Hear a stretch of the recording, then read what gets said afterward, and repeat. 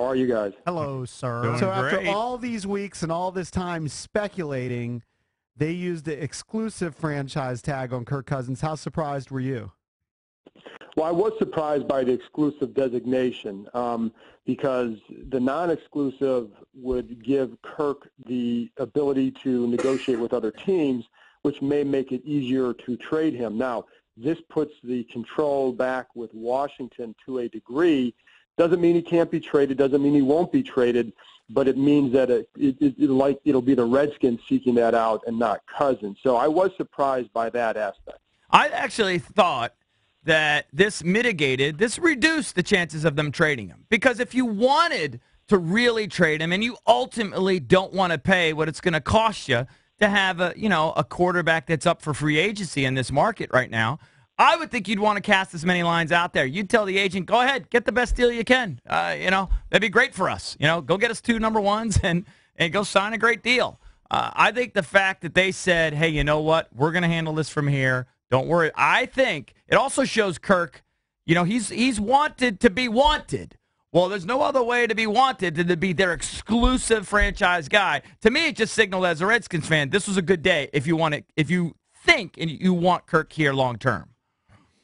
Yeah, and I'm not sure I'm going to go that far, only because if they really wanted him here long term, I think they would have made an offer that would come close to tempting him to sign. And I think the problem is that even though, you know, Cousins can say, yeah, this shows they want me, he knows in the back of his mind that they haven't made an offer. They that's still have really to show him. They still have to show him, Yeah, no doubt. Still, I still, and, and I think that's, I think that becomes a problem after two years of this. And this, listen, it's okay if they don't. I'm not saying they have to, but just from his perspective, he knows that um, he knows what they think. He knows they feel like he's good but not great, and they have a hard time paying him at that price because again, they haven't come. It's not even about him making these you know outrageous demands or whatever. They haven't even tempted him with an offer, whether last year or, or this offseason so far. And I think that to me, so we really don't know truly what he would sign for because they haven't come close. So I think that to me is still the message that is out there for him, and he knows that. But yeah, you know, does it? I, I think. Listen, I think a trade is something they'll definitely still explore because they know if they don't, and they know they know what the cost it will be to sign him. They know that the chances that, of doing that are are unlikely unless they change their thinking and therefore they're staring at losing him for a third round comp pick in 2019 Which they're not going to do. year. So- They're not going to do that. right correct and so so that's why I think uh, the trade's on the table now the hard part with the trade always remains a couple things one you know San Francisco which is the place where listen I was told that's his preferred destination it's where he'd sign a long-term deal right now doesn't mean he would with somebody else um, but it just means that you know he has a familiarity because of Kyle Shanahan. John Lynch really likes him, so I think that makes a lot of sense.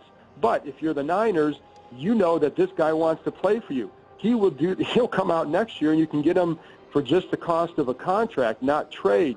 I think that makes it tough. I think you know then if you're like Cleveland or Chicago and you want to get involved in this, what are you really willing to give up to get him? And you know, um, if I'm them and I don't have a strong familiarity with having worked with him and what he's all about, would you really give up a couple picks plus pay him 20 some million? I have a feeling his price tag for those teams would be higher than maybe with somebody else, um, just for that reason. And would they really want to do that? So I think those are reasons why a trade still will always be difficult, um, you know, to, to make, whether it's exclusive or non-exclusive. Is it is it easier for the team to just deal with other teams and negotiate with other teams, rather than let the agent and the player do it? Would they would they would they want that control?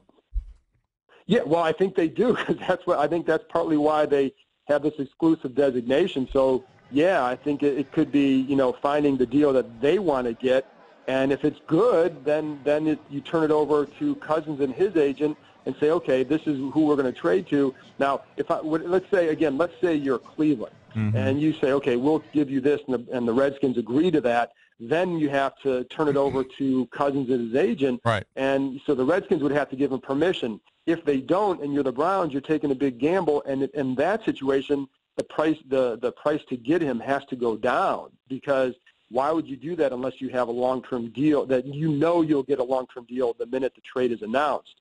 So, but yeah, it does certainly give the Redskins the, the control in this situation. But I think ultimately people know that what they feel about him, people know that it's going to be hard for them to sign him long term, and therefore they're staring at losing him after next offseason um, for, and again, unless they franchise him a third year, which is at 34 and a half. If you do that, why the heck wouldn't you have signed him to a big deal last year? You know, and you know, or they transition. I, I would told that's unlikely. That's still 28 million, and you know, again, you look at the guaranteed money then over three years. It's like, why didn't you get a deal done? So, you know, so they the, everybody else knows all this. So it's while the Redskins have the control of the negotiating rights right now, I think you know it's it's still hard for them to have full leverage because they're kind of in a tough situation with this.